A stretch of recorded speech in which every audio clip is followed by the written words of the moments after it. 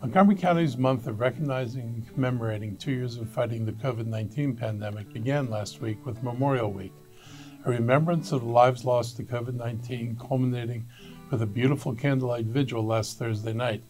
I want to thank all those who helped organize the event and those who joined us on that very cold night to honor those we lost.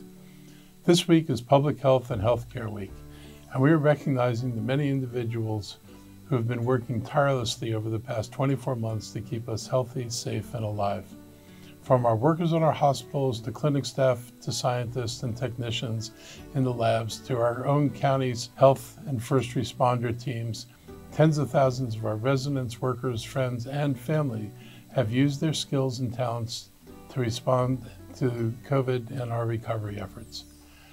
We are honoring those indispensable workers during a very sobering time. This week, our planet surpassed 6 million deaths due to this pandemic, with our nation nearing 1 million fatalities, by far the most in the world.